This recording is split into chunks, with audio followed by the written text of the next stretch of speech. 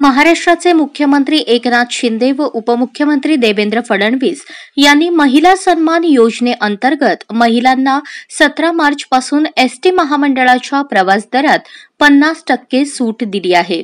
त्यामुळे धाराशिव आगाराची धाराशिव तेर मुरुड या गाडीतील प्रवास करणाऱ्या महिला प्रवाशांचे तेर बस स्थानकात भाजप कार्यकर्त्यांनी पुष्पगुच्छ देऊन स्वागत केले व महाराष्ट्राचे मुख्यमंत्री व उपमुख्यमंत्री यांचे महिलांनी व भाजप कार्यकर्त्यांनी आभार मानले.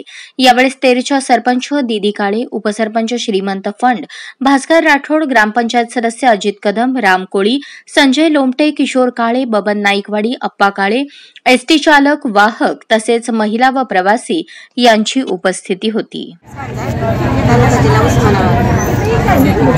बसचं जसं तिकीट कमी केले तसं मुख्यमंत्र्याचा आणि पंतप्रधानांचा आभार. आणि गॅसचं पण दर कमी करा हे आम्हाला आमचं हे. विनंती आहे. कुठून आला नाव काय तुमचं माझं नाव सावित्राबाई उद्धव गोंदर उत्मी कायपूर इथून आलेले आहे समाधानी आहेत का अर्ध तिकीट केल्याबद्दल? समाधानी. आभारी आहे